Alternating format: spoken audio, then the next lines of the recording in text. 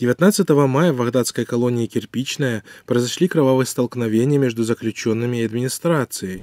Об этом сообщает портал «Ахбор». Жертвами экзекуции, по данным агентства Рейтер, стало около три десятка заключенных, а по неофициальным данным гораздо больше.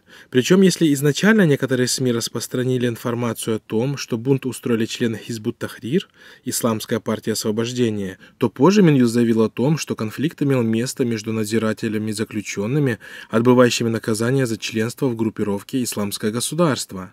Уже 20 мая МВД Таджикистана опубликовала список погибших заключенных, причем среди погибших оказались имена заключенных членов ПИФТ, партии Исламского возрождения Таджикистана.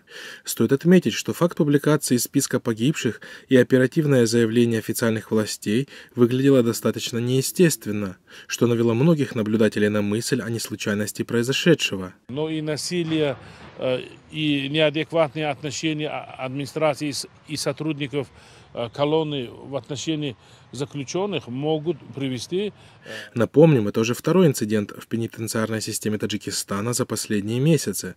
В ноябре прошлого года в худжанской колонии 3-3 произошел бунт, жертвами которого стали более 50 заключенных. Ҳамин қадар бейнимго моя малисао кашолкада усул дод гуфтоз дари масҷидда сахт Знакомой ситуации источники отмечали тогда, что имела место провокация со стороны администрации учреждения.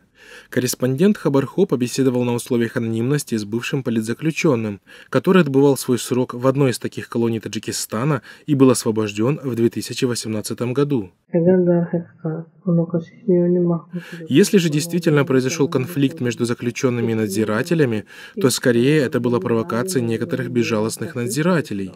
Общеизвестным является то, что среди надзирателей есть такие личности, которые своим отношением доводят заключенного до самого предела, а это пытки, шизо, унижение чести и достоинства перед всеми и угрозы раскруткой. Все эти нечеловеческие отношения заключенные чувствуют на себе регулярно.